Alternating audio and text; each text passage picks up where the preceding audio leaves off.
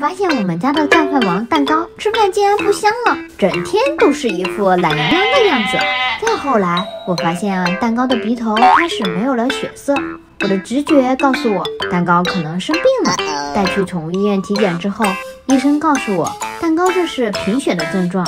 小猫咪也会贫血吗？猫咪贫血其实是很常见的疾病，比如得过猫瘟、猫传腹的猫、驱虫不到位的猫、先天体质差的猫都有可能患上贫血。就拿蛋糕来说吧，它其实是一只非常挑嘴的猫，像鱼肉、鸡肉、化毛膏，它都一概不碰。在它眼里，猫粮胜过一切。这种长期饮食结构单一的猫咪，摄入的微量元素严重不足，就很有可能会导致贫血。作为铲屎官，我们只能通过其他方式，在猫咪的饮食里添加一些能补血的营养剂。宠物医生给我开了一瓶拜维宁补血干精，我特地去百度了一下。拜维宁是用来干什么的？其实它全名叫做混合型饲料添加剂液态乳酸亚铁。